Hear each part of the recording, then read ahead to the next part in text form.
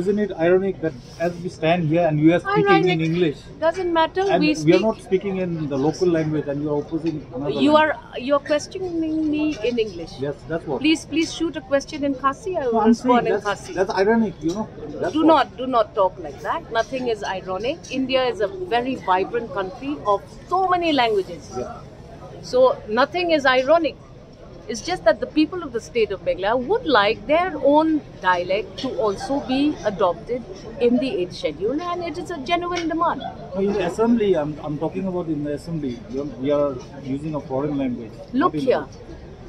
Do not say that we are using a foreign or a national or a regional language. India is a country where all languages are spoken, dialects are spoken, and it's fine. It's nothing is ironic about the situation. It's just that we have to highlight. It is the business of the opposition to raise this matter, and they have done so. And that is the tradition and practice and convention of the Legislative Assembly.